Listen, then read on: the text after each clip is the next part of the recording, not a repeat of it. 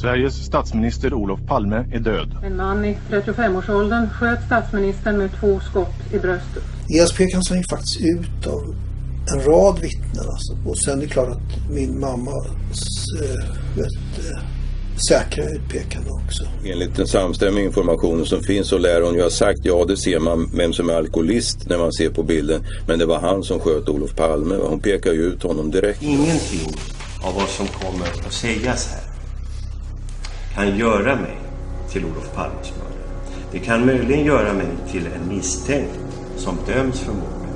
Men jag kan aldrig bli Olof Palmes mördare.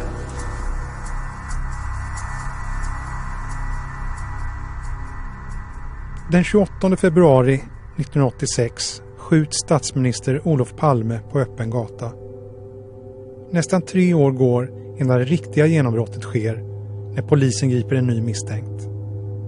Vid den här tidpunkten har han en kriminell historia och omnämns i media som 41-åringen. Christer Pettersson ska snart bli känd som den misstänkte Palmemördaren. Mycket på grund av det som händer en decemberdag 1988. Vittneskonfrontationen. Gripandet är ett stort steg framåt i den havererade mordutredningen. Och det här ögonblicket blir en vändpunkt för fallet. Vittnena pekar ut honom.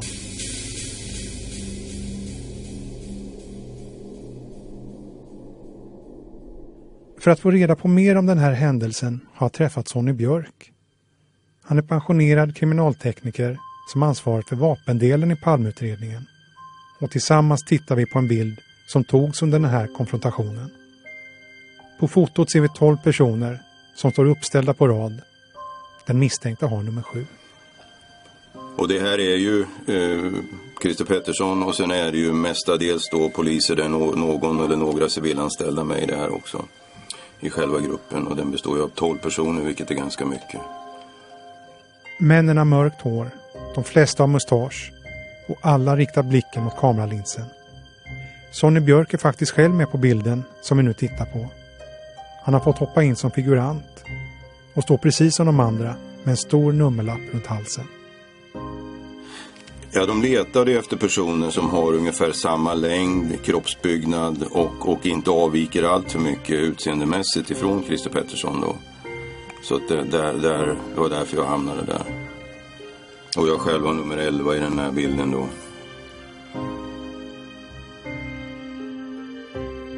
Du lyssnar på en poddserie från Aftonbladet som uppmärksammar 30-årsdagen av Palmemordet. Det här är tredje och sista avsnittet om Christer Pettersson. Jag heter Anders Johansson.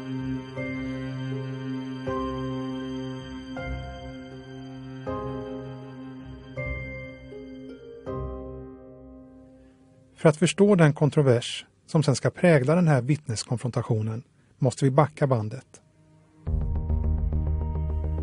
Efter mordet får polisen in mängder av tips Fyra av dem gäller Pettersson. Han är en känd våldsverkare och sägs ha varit i närheten av mordplatsen just den här kvällen. Han hörs första gången i maj 1986. Men spaningsledaren Hans Holmér förklarar internt att ingen ska inbilla honom att Palme blir skjuten av någon jävla gatulangare och lägger ingen större vikt vid Christer Pettersson. Holmér är istället helt inriktad på att PKK terroriststämplade kurdiska arbetarpartiet ligger bakom mordet. Men efter omfattande utredningar ger det ingenting och efter ett år av samarbetsproblem med åklagarna som driver fallet avgår Holmer både som länspolismästare och spaningsledare. Nu riktas blickarna återigen mot Christer Pettersson. Vi hör kriminaltekniker Sonny Björk. I det här skedet vad var det som gjorde att Christer Pettersson var så intressant i utredningen? Ja, de, man gick ju igenom undersökningsmaterialet igen, plockade upp alla spår och trådar man hade haft. Och då när man då kommer till Christer Pettersson och, och läser det här så ser man ju att, att det fanns ju ganska mycket på honom. Va? Det klarläggs att Christer Pettersson är inne i centrala Stockholm på mordkvällen. Bland annat är han inne på spelklubben Oxen, bara ett par kvarter från mordplatsen, att skaffa amfetamin. Han är också vid biografen Grand. Det är på de här ställena folk ska ha sett honom. Ja, alltså det fanns ju vittnen som påstod som hade pekat ut dem och sagt att det var han. Det var ju så han blev intagen till förhör från början. Att det var vittnen som hörde av sig, personer som hörde av sig och sa att det var, de visste att det var Christer Pettersson som hade gjort det här. Så att eh, han dök upp igen när man gick igenom materialet. Christer Pettersson hävdar att han sen åker pendeltåg hem med tåg som avgår från centralen i vart fall före klockan 11 på kvällen. Sen somnar han och vaknar med slutstationen Märsta och får vända om. När skotten faller på Sveavägen ska han alltså vara på väg hem. Trots att det gått tre år hittar de nya utredarna ändå intressanta saker som kan indikera att Pettersson är inblandad. Han har ändrat utseende efter mordet och börjar odla mustasch. Han skriver i flera kondoleansböcker som är utlagda i Stockholm. I boken i Sollentuna centrum är han till och med den första person att skriva något. Och i hans hem hittas en Palmefientlig bok och det visar sig att han även sparat löpsedlar som han varit ute och tagit från tidningsbuntar tidigt på morgonen efter mordet. Och han har ett inramat porträttfoto av Olof Palme. Eh, jo, en, en fråga till medan jag kanske spårar ur lite här. Men hemma hos dig hittade vi ett fotografi av Olof Palme. Det vi hör här är Anders Helin som var åklagare i Palmeutredningen. Var kommer det ifrån? Fynden kring Pettersson bedöms nämligen vara så besvärande att domstolen beslutar att han ska häktas som misstänkt för mordet. Efter att han pekas ut av vittnen blir han åtalad och det här är en inspelning från rättegången som sen sätter igång mot Christer Pettersson. Här ställer åklagaren frågor om fynden som har hittats. Bland annat det inramade fotografiet. Ja, det... Du menar det inglasade? Ja. Ja, det stal jag i Folkets hus i Rotebro. Ja, det är att du ville ha ett fotografi Ja, det vill jag. av Palme då. Ja, Som ett uttryck för din beundran för honom. jag tyckte om den mannen, ja. Och de här löpsedlarna från första mars som vi också hittade. Ja, det är samma skäl. Det är samma sak.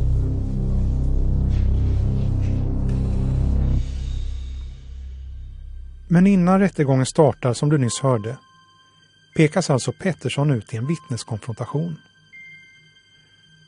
Vi tittar på fotografiet därifrån igen. Flera vittnen plockas in för att se om de känner igen Pettersson från Sveavägen tre år tidigare. Sonny Björk berättar hur det gick till. De tolv figuranterna står uppradade bredvid varandra och vittnena tittar på dem bakom ett spegelglas. Eh, sen får man gå en och en runt i rummet då, ett par varv. Ställa sig framför eh, den här eh, glasrutan eller spegelglaset som det syns då inifrån från konfrontationsrummet. Och vrida på sig då i fyra olika positioner och gå tillbaka igen. Då. Så går en konfrontation till.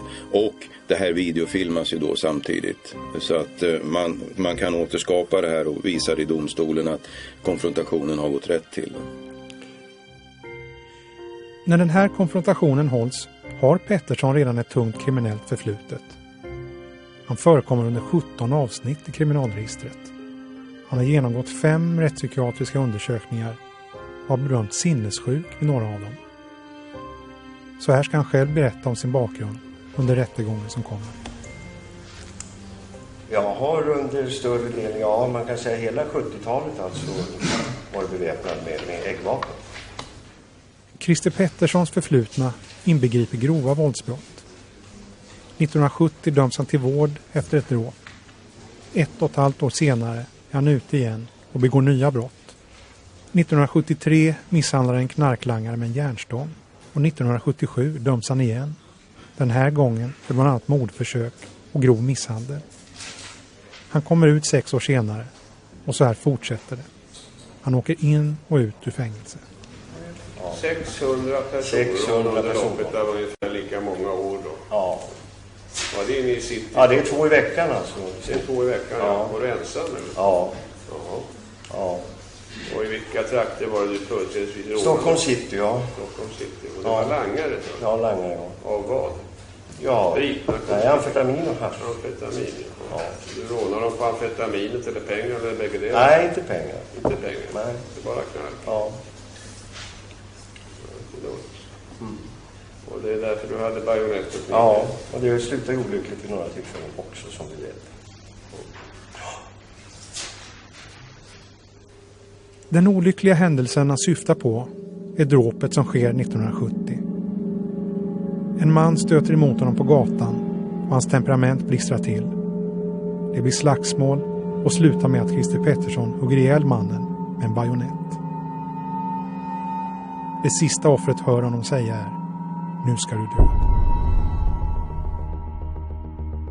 Anmärkningsvärt med det här dråpet är att det begås alldeles i närheten av platsen där Palme mördas.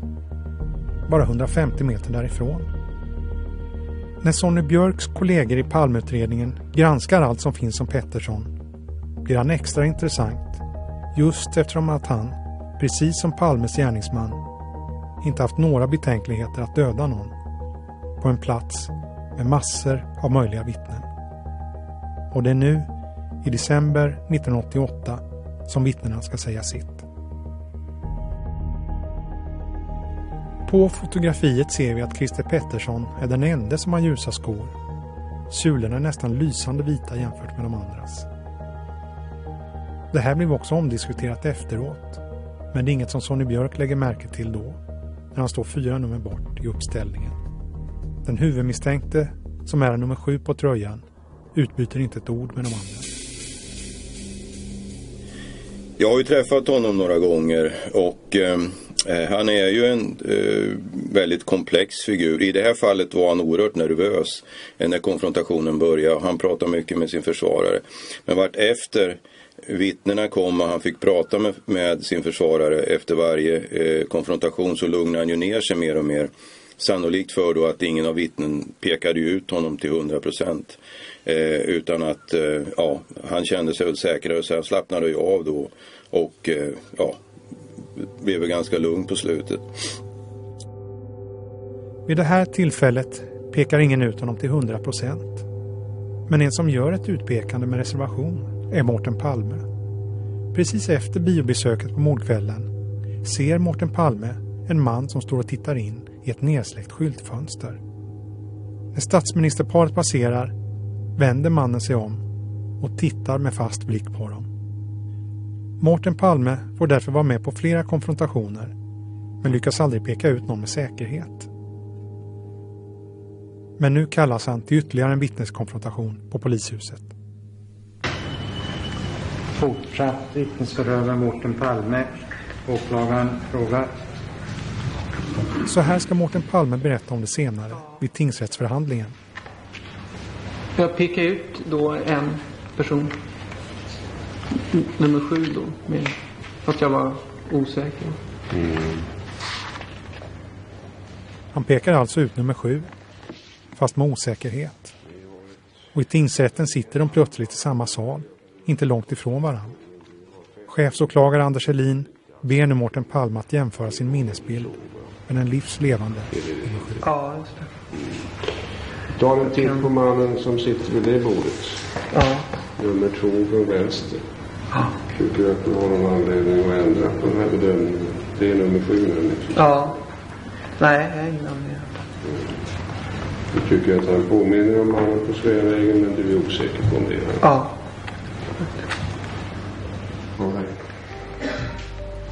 Advokat Där. Tror jag måste visa. Mårten Palme fastnar för blicken hos Christer Pettersson. Och han tycker sig känna igen de smala läpparna och hans ansiktsform. Men vad säger huvudvittnet? Lisbeth Palme. Hon medverkar inte på plats utan får titta på en videoinspelning av konfrontationen. Sekunderna efter att skotten avlossats ser hon sig omkring för att be om hjälp. Det är då hon ser honom. Hon uppger att han står och stirrar en kort stund innan han försvinner iväg. Att gärningsmannen har stått kvar några sekunder är en uppgift som dessutom bekräftas av andra som bevittnar händelsen. Och nu, tre år senare, pekar hon ut Christer Pettersson. Men till skillnad från de andra säger hon sig vara hundraprocentigt säker. Han överensstämmer helt med hennes minnesbild. Christer Pettersson döms för mordet till livstidsfängelse. Ett av de starkaste bevisen är Lisbeth Palmes utpekande. Det finns också flera andra som ser Christer Pettersson stå och vänta vid biografen Grand på kvällen kort innan mordet. Däribland en person som kände honom sedan tidigare. Men det finns vissa omständigheter runt bevisningen som skapar problem för åklagaren. Christer Petterssons försvarsadvokat fick inte vara med när Lisbeth tittade på filmen från vittneskonfrontationen. Och det gjordes aldrig någon bandupptagning. Hon vägrade spelas in. Och nu används det emot hennes tillförlitlighet. Christer Pettersson överklagar domen och det blir en ny rättegång i hovrätten. Där sammanfattar han sin inställning. Får jag bara säga en sak alltså till, till båda sidor här. Jag vill bara säga det för nu kommer inte jag få kanske någon större möjlighet att yttra mig här de kommande dagarna. Utan jag kommer mest att vara tyst. Men man går ju och tänker och jag vill i alla fall sammanfatta. Jag vill säga så här att ingenting av vad som kommer att sägas här kan göra mig till Olof Palmes mördare. Det kan möjligen göra mig till en misstänkt som döms för mordet. Men jag kan aldrig bli Olof Palmes mördare. Det är fakta. Och det är möjligtvis en tröst för tigerhjärtan. Det är sant. Så vill jag säga.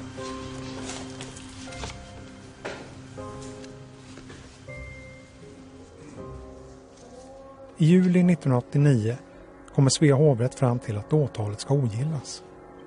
Christer Pettersson försätts på fri fot, får 300 000 kronor i skadestånd för tiden han suttit i häkte. Bevisen anses inte hålla. En förklaring till varför åtalet ogillas gäller situationen som här är fångad på bild. Det framkommer nämligen att Lisbeth Palme skulle ha fått förhandsinformation om den misstänkte hon ska konfronteras med. Vi hör Sonny Björk om att åklagarna berättade mer än vad de borde. Och de informerar Lisbeth Palme om att man har gripit, gripit en alkoholist från Sollentuna misstänkt för mordet på Olof Palme. Då. Och enligt, enligt den samstämmiga informationen som finns så lär hon ju ha sagt ja det ser man vem som är alkoholist när man ser på bilden. Men det var han som sköt Olof Palme. Hon pekar ju ut honom direkt. Då. Lisbeth Palme ska alltså fått förhandsinformation om att personen är missbrukare. Och med tanke på att de andra elva figuranterna alla jobbar i polishuset så blir det här ett sätt för försvarssidan att slå sönder ens vittnesmål. Och då blir det ju panik naturligtvis. För att de här två åklagarna, klandervärda åklagarna skulle jag påstå, har ju lämnat den förhandsinformationen vilket gör att, och inte försvarar närvarande. Vilket gör att det senare i hovrätten då framställs som om att hon har blivit påverkad av det här. Pettersson frias alltså och en rad andra spår utreds men det leder aldrig fram till något avgörande. I tysthet fortsätter Christer Pettersson att vara den hetaste kandidaten. I december 1997, 11 år efter mordet, har riksåklagaren samlat nya bevis och vill ha en ny rättegång mot Christer Pettersson. Bland bevisen finns nya vittnesmål från Sigge Cedergren som drev spelklubben Oxen i närheten av mordplatsen. Han ligger på sin dödsbädd och säger att det här är en hemlighet som han inte vill ta med sig i graven. Cedergren ska ha överlämnat en revolver med tillhörande ammunition till Christer Pettersson av precis samma kaliber som vid mordet. Andra vittnen menar att Christer Pettersson också haft en stor revolver hemma. Att han ska ha varit hatisk och velat skjuta Palme. Riksåklagaren radar upp bevis efter bevis i den 33 sidor långa resningsansökan. Men ett halvår senare säger Högsta domstolen nej. Den friande domen kommer inte prövas på nytt. Mårten Palme har under åren funderat mycket på sitt utpekande. Idag är han nästan ångerfull att han inte var tydligare med sin uppfattning. Han var säkrare på utpekandet än vad som framgick. Alltså jag kommer ihåg att jag var ganska säker med liksom eh, underdrev kanske den här eh, säkerheten. Så, så det var ju lite skrämmande att vara med på de där konfrontationerna. Vad minns du? Jag fick någon sorts chock, kommer jag ihåg, när jag såg den här konfrontationsgruppen. Jag kände igen honom liksom. Jag tyckte jag kände. Men ja, det var ju liksom, hade gått ett par år och sådär. Man tvekade på mina egna iakttagelser. Hur säker är din mamma på att det var Christer Pettersson? Ja, hon är helt säker. Nu är det 30 år sedan mordet skedde. Otaliga teorier och spår har varit aktuella för utredarna, men det har inte lett fram till något resultat. Ingen har kunnat dömas för mordet på Sveriges statsminister. Men sonen Mårten Palme har ändå sin uppfattning klar. Förutom att han själv är vittne är det flera faktorer som gör honom säker på att det är Christer Pettersson. Nej, det är ju sammantaget. Va? Det, dels så gjorde jag ju själv vissa, jag var ju själv vittne och gjorde vissa iakttagelser utanför. ESP pekades han ju faktiskt ut av en rad vittnen, alltså både utanför biografen och faktiskt också mellan biografen och mordplatsen. Och sen är det klart att min mammas eh, vet, eh, säkra utpekande också också av personer som eh, känner honom sedan tidigare. Det är väldigt svårt att komma runt det tycker jag. Och slutligen har han ju själv liksom erkänt det flera gånger. Det är svårt att se varför han skulle göra det. Men jag har svårt att se att han inte skulle vara skyldig verkligen.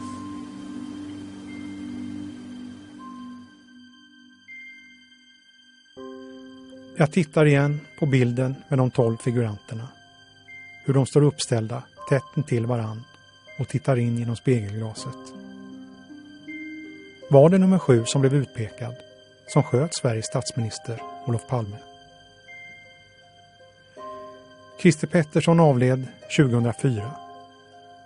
Kanske tog han sanningen med sig om mordet i graven.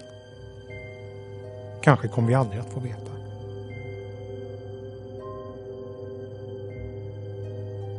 Du har lyssnat på en nyhetspodd från Aftonbladet. Jag heter Anders Johansson. Producent var Nina Kruse.